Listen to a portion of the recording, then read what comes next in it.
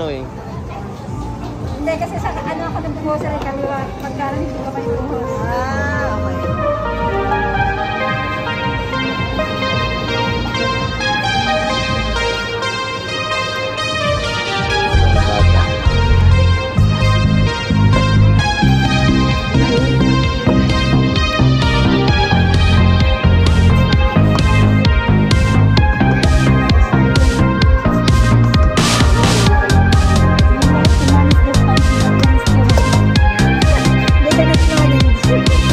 respondeu também